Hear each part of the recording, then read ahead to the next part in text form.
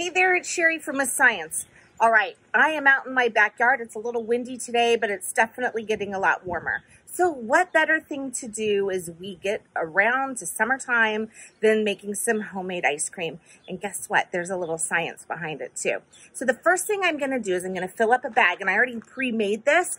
Um, it gets really, really cold, and we're going to talk about that.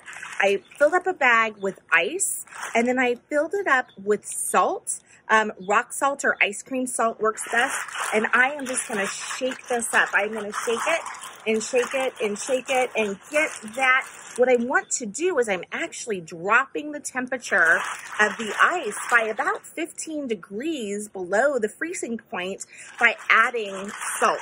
So as I add that salt, I am going to just work this and smush it and we'll get that just going. And I did not bring my mittens. So as that sits, I'm also going to take a baggie, a small baggie, okay, quart size, and I, I'm just going to eyeball this a little bit, but it's about a half a cup of half and half cream, and you might want to do the exact amount. I'm trying to go quick here. So I'm going to do that. I'm also going to add a little bit of vanilla because I like vanilla, but you could experiment with this. This is the fun thing. One of the things we can talk about is the math behind this. I'm going to use about a teaspoon of vanilla. We can talk about the math. How many teaspoons make a tablespoon? Um, how much does a half a cup or a cup of half and half cost if I use this? Um, so how much does it cost to make my ice cream? Maybe I want to sell my ice cream. And then also, so maybe I need to figure out different flavors.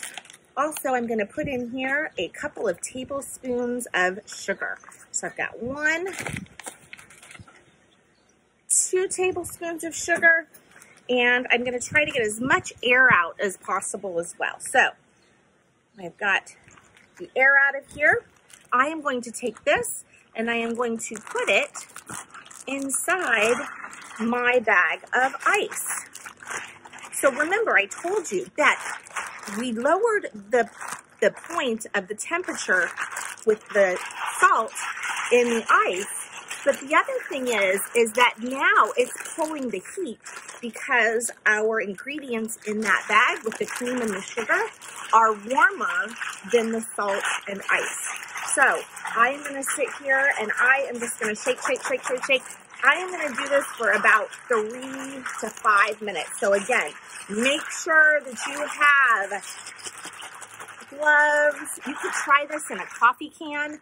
Um, anything that rolls, you can roll it. It's great time to be outside. So you can roll it around on the sidewalk um, or on the patio. This is a fantastic summertime activity. So now if I've shaken it long enough, I'm going to open up my bag and I'm going to see that my ice cream, my cream in here, is actually starting to freeze. And I can just open up that baggie. Another thing you might want to do is have some water nearby and dip it in water to get kind of some of that salt off. But oh, look at there. It froze. And so I'm going to take it, give it a taste. Mmm, delicious. There's nothing like homemade ice cream. And guess what? It's the perfect portion size for me. So have some fun, do a little science. I don't know how to cook, but I love kitchen science.